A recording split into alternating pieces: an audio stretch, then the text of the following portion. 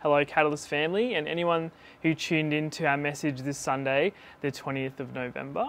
Um, my name is Liam Mavity, and you might know me around Catalyst as the Foundry Cafe manager on a Sunday or as a youth leader on Fridays. But um, in this moment, I sort of wanted to talk to you from another hat I have, which is that of a mental health nurse. Um, some of you may have been at church this Sunday or may have watched online uh, when Pastor Brad and Peter G spoke about quite a heavy topic, and our topic being suicide.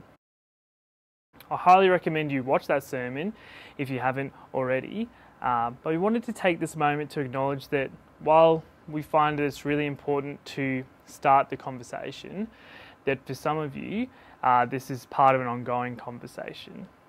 We wanted to affirm that although the topic of our messages will move on, our heart for you will remain. And we have pastors, a pastoral care team, and kind and equipped people to be a listening ear, as well as, as a port of call to point you in the right direction should further help be needed.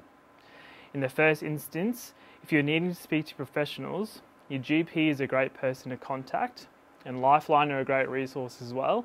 We'll have the link in the description below. Bless you heaps, and we'll connect with you soon.